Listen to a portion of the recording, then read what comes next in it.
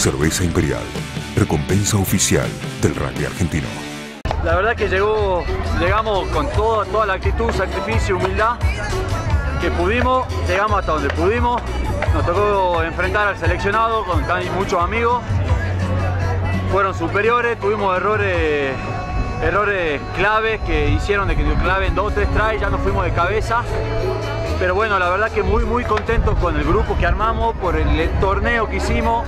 Veníamos de un entrenamiento, eh, se cayó un equipo de acá, nos llamaron y llegamos a semifinal de oro, que no es poca cosa en un torneo de esta magnitud con, equipos tucumanos que son, creo yo, el segundo, la segunda provincia más grande en, rugby del país, así que muy satisfecho por el torneo que hicimos y creo que, vamos a tener revancha. Vamos a tener revancha durante el año, en otras ocasiones para volver a este torneo y vamos a llevar a de oro, estoy seguro.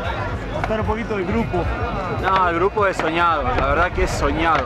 Eh, somos un grupo de amigos y eso se nota creo que en la cancha, afuera, eh, somos un grupo de amigos y, lo, y, lo, mostramos en la cancha. Saludazo para Jorgito Scaff, mi hermana y Norte Rugby.